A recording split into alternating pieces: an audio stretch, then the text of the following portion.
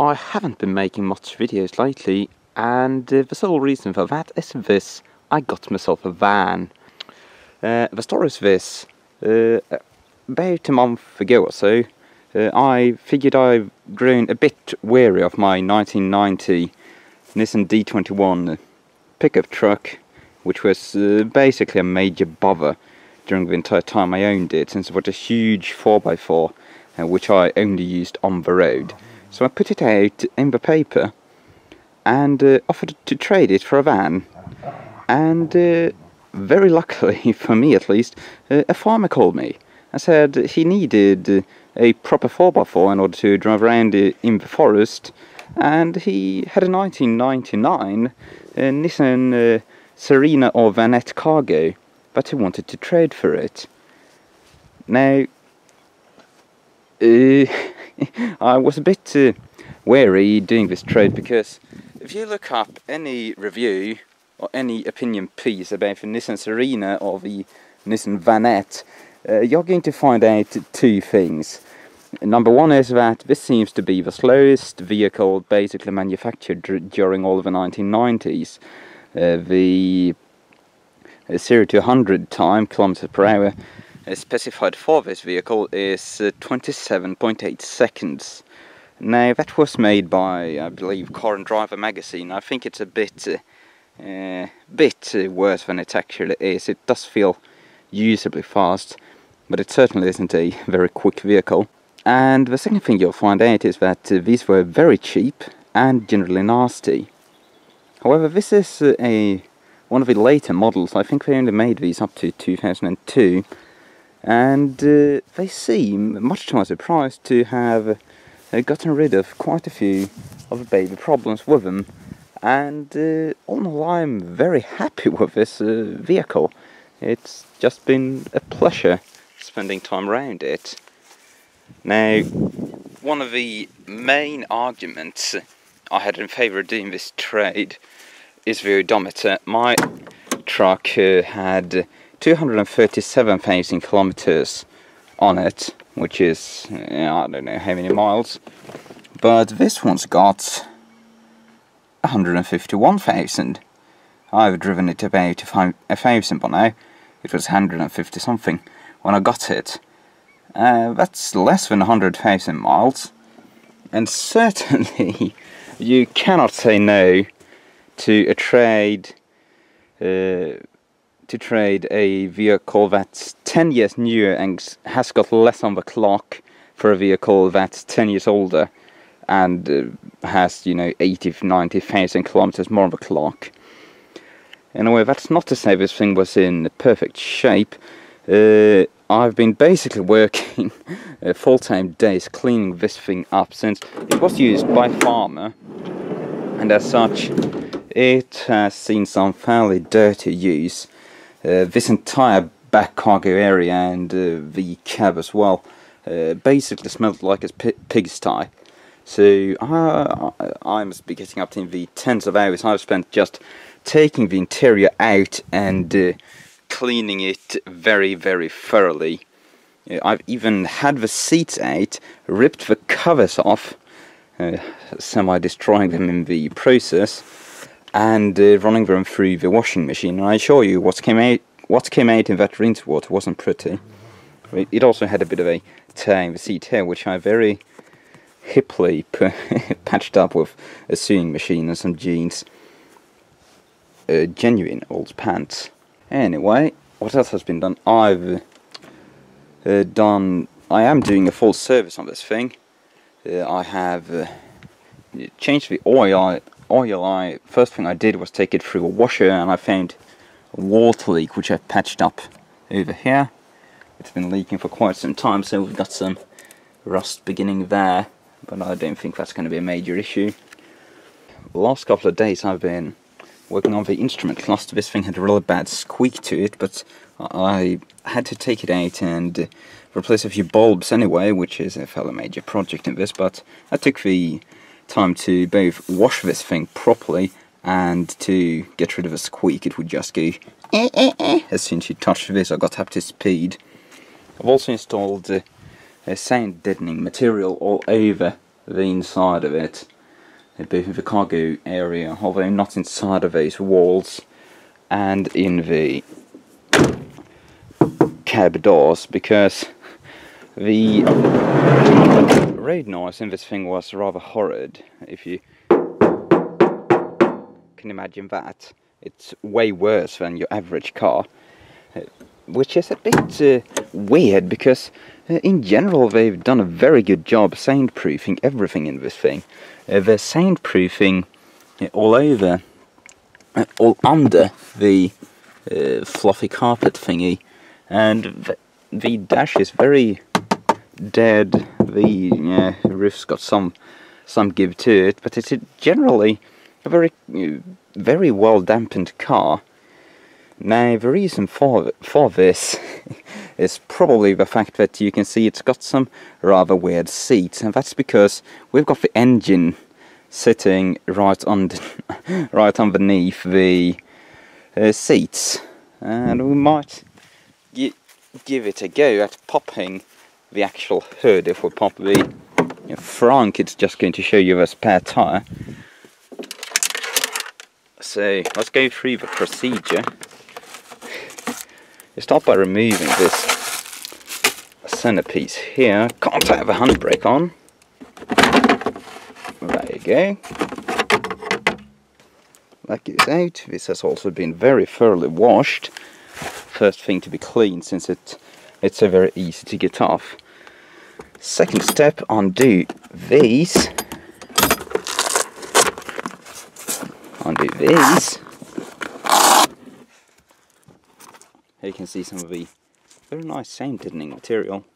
There's what's stuck on the metal as well. I've, I've uh, taken the time to actually adjust these uh, hood tensioner clips because these were just basically flapping the breeze and all the closing force was being put down by this one which is uh, still quite a bit sturdier than the other one. Step three, or if you want to fold down the divider there, is to just slide the seat all the way forward, tilt it, and now this should come up.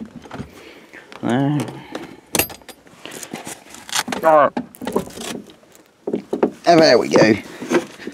Uh, access to 50% of the engine. Now this thing is a diesel. It's a 2.3 litre naturally aspirated diesel engine uh, of a rather ancient heritage. Uh, I'm not entirely certain about anything about this. It seems to be one of these uh, fairly Eastern European specials that they love to do in these commercial vehicles. It's Nissan LD23 engine, which uh, doesn't really seem to exist anywhere. Uh, it's got uh, at a 2.3 litre, making about 70 horsepower and 145 newton meters of torque, uh, 2400 RPM, I think. But it's basically unknown. I've asked the dealership for a manual for it because you can't find it anywhere. Anyway, the work I've done on the engine changed uh, the fuel filter was pissing diesel everywhere it's the end of the fuel filter has got a water indicator thingy, and that sits below the fuel tank. So it would siphon out the fuel tank whenever it was sitting. It's probably, I mean, during the course of this old filter's life, it probably siphoned out at least half a tank because it was coming out fast. It was dripping. And also replaced a couple of diesel return lines, got a couple more to go because this were pissing diesel as well still has some issues. It's uh, the two of the injectors seem to be leaking very slightly at the seat. I'm not sure what I'm going to do about it. I'm probably going to take all this stuff apart and clean it out properly, but I'm going to wait until I get the manual for it so that I got proper torque specs and stuff like that. All in all, this entire engine compartment is very dusty and uh, horrible. It's uh, certainly lived a very uh, agricultural life. Uh, no rust though, as is common for vehicles that have lived their entire lives on this island on which I reside. Nicely enough, compared to my truck, I'm the third owner of this vehicle. The truck I was probably the 10th or so. And that's always a good sign. The first owner kept very good records of everything that went on with its vehicle. Second owner, the farmer guy, and not too much, but he said he had actually changed the cam belt. It sadly is a belt about five years ago, so I'm going to do the belt in short, in due time. I've put one on order. Uh, again, hoping I get can get my hands on a manual for it, because I wouldn't want to torque everything incorrectly and ruin my engine. Ah, can't hold that up much longer. Also, on the back of the seat, you can see the uh, people carrier heritage or minivan heritage that this vehicle has, uh, since these seats have this little pockets which just go up against the wall because the normal version, the Nissan Serena, which is a bit, uh, yeah, it's a bit uh, shorter, it's nowhere near as tall and doesn't have this silly hump there. Uh, has got, uh, I think it's nine seats or so. They were rather popular as taxis for a while around here. Dual sliding doors as well, which is a nice feature and something you wouldn't believe, every single door on this vehicle has a light switch. My truck only had a light switch for the driver's door. This one's got one, two, three, four, five, or possibly even six switches for the doors. And this light seems to have broken uh, just in time for that it's turned off. I've also uh, done a very quick project of adding a line input to the stereo here, which was, I was going to make a video about it, but I never bothered because I wanted to get it done very quickly. And this has to be one of the simplest uh, line-in hacky radios I've ever worked on, because what I've done to, to this radio is just, I've shoved a cassette in there, disabled the motor, it has no feedback on whether or not the tape is actually spinning, and uh, put a voltage divider in series with the line in input and feed that uh, straight to the uh, tape input, tape head input, which works perfectly. Uh, but one very amusing part about that is that there seems to be some kind of Dolby thing going on in this thing. Because there's basically a low pass filter uh, on the entire uh, sound so you get, uh, and it goes very low as well, so you get a huge boost, a ridiculous amount of boost uh, below 60 hertz. Uh, and it just kind of rolls off about 3 decibels per octave or something above that. So, this, even with these puny little stock uh, 5 and a qu quarter inch Blaupunkt speakers, uh, this thing has a ridiculous amount of bass. Of course, you can't play too loud or it'll just start clipping, but uh, it sounds very good. I, am not usually a fan of uh, bassy stuff, and generally bass controls and, and so forth on you know car stereos don't sound very good. They usually put a bass boost at somewhere around 100 hertz, but this goes uh, way below that and uh, I don't know, I have the battery disconnected, so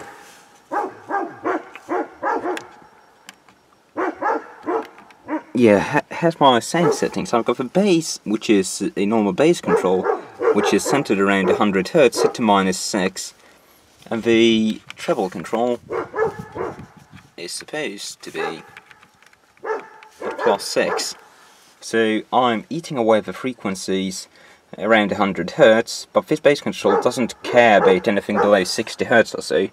So then we have a nice sub bass hit there, and the treble control is kind of low frequency, seems to be centered, it's very wide, but it seems to be centered around 10 kilohertz or so.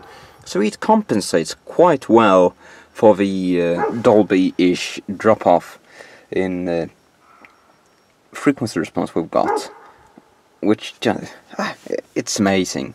I don't have any music player right here with uh, copyright-free music there, so I can't quite show you. Uh, other little fixes. glove box hinge was gone. This thing was just hanging down. Uh, I've been cleaning everything. I've been cleaning the tracks for the sliding doors. I've been cleaning the door hinges. I've adjusted the door closing mechanism, which was a bit glitchy, but they're perfect now. Like a new car. And I love the sound of a proper dampened door closing like that. Uh, very cheapo mirrors, not even controlled from the inside. Uh, I never had one of these work. Let's pop the hood and have a look at what the stuff we can find in there. Certainly not an engine. But they have gone to some effort to make this thing actually fairly service friendly. Uh, I did this to the battery because the uh, I got a battery with it. It's a 100 amp hour battery, uh, but it had a capacitor tested of about uh, 17 or so. And uh, yeah, when it's going to get colder in a few months, I, I don't quite trust an 18 amp hour battery. So I I had one of these uh, identical ones sitting around, which I knew was good, such at about 90 but with a wrong uh, pole orientation and the cables wouldn't reach or have it with the poles coming towards me so I just extended them with some copper bar. Uh, I've also done the struts on this thing, my first time ever doing that job and I very obviously didn't kill myself. These uh, rubber grommet thingies were entirely ruined and uh, they had probably caused the shocks to go bad in a rather quick manner and this ride on this thing was absolutely abhorrent with bad shocks. Uh, really, I changed shocks on my truck too, which was an independent front suspension truck, so it should make a fair amount of difference uh, uh, putting new, new shocks in it, but the difference in this vehicle is uh, giant. Uh, it, it feels entirely different. All of the horrible, uh, you know, grumbly road noise that just accumulates over time went straight away. I've also had to take the blow out in order to actually get at the strut mount because they're down there and down onto that bottle there. And that wasn't an easy task. However, I was going to take the fan out anyway because I wanted to clean out all this stuff and get the all of the horrible farm pigsty smelling stuff out of it and also lube up the motor. And the fan mate in this uh, vehicle is quite impressive, I must say. Because uh, it's a brushed motor like every other car fan motor in a car of the era, but uh, if we turn it on, you can barely hear any motor noise at all. Now it got a bit better even after I lube, lubed the bearings in it, but uh, all the noise you're getting is basically just uh, air turbulence. And I'm very impressed by that. I've never heard uh, a brushed DC motor run this silent before. Very good engineering on, uh, well, I would say Nissan spot, but I think it's a Bosch motor. And I like the layout too, where they've just put the fan under the hood rather than under the glove box where it usually goes. Because, hey, the little turbulence noise you get of the fan blades and the little engine no or motor noise you get, hey, it's going to be outside the vehicle. So the actual sound you get out of the vents is just air moving around. No drama. Very, very nice. It still needs a bit of attention though. The clutch, I wish you could feel this.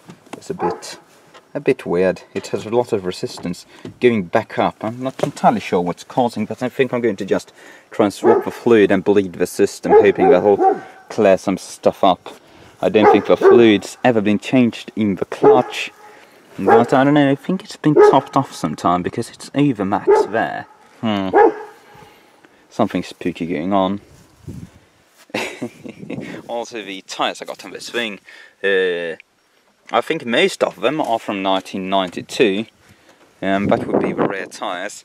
And uh, it's got different tyres on both the front sides. It's got Bridgestone on that side, I think, and a yeah Kelly something on this side. Same dimension, thankfully, but yeah, they're not the same tyres, and alignment's a bit iffy. But I'm going to change the some steering part because the right wheel has a very slight uh, play to it. And I don't, I don't accept that thing. I want all my alignments to be perfect. What more? Uh, sadly, it's uh, the rear wa washer wiper on this car is one of those stupid things that share the reservoir up in the front. So, the previous owner was an old farmer, he'd never used that thing, so I've had to go to a fair amount of effort to actually get any water to come out of these two here. The actual washers uh, worked fine as long as they replaced the wipers, but uh, yeah, these nozzles, uh, after about a few minutes of just pumping fluid through it, I got something to come out of that one, but this one was very thoroughly shut up, so I had to actually push on compressed air through it in order to get it to finally clear up. But it worked, I didn't have to replace anything. I've also had the carpet out. I've cleaned it up as best as I could, but as you can see it's far from perfect and it still smells a bit back here. Even after many, many hours of cleaning, it's insane how smells like uh, general farming just catch on. Cab's pretty good on the smell part though. Hmm. It's also got uh, uh, electronically adjustable headlights which don't work. There seems to be some weird ass problem with the electronic motors in there. They get signal, I've tried troubleshooting them, but they just won't move. I think they might be mechanically seized or have been on. They've been trying to move, but uh, after too many years of just being stuck, they've just given up and the motors have blown. That's my guess because everything else seems to be in order and they do move if you force them to. But by hand. Hmm. So yeah, that's about it. That's my van. they certainly aren't uh, very beautiful. Uh, they do, however, this one at least, seems to get incredible gas mileage.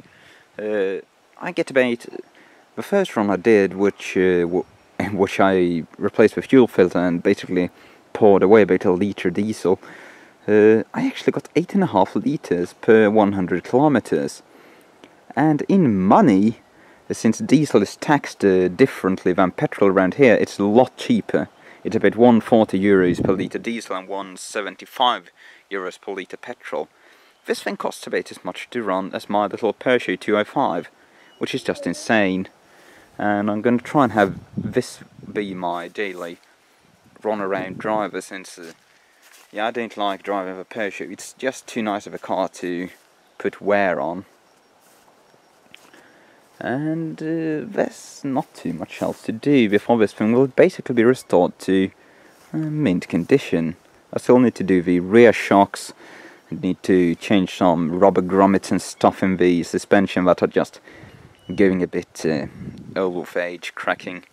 It's going to fail inspection in a few years due to that, but that's no biggie. I'm going to do them well before that since I'm anal about everything that's got to do with uh, suspension and cleanliness. Hmm, we'll see. a slightly amusing thing, there's the very 90s badge. Uh, don't like the look of these they're just silly.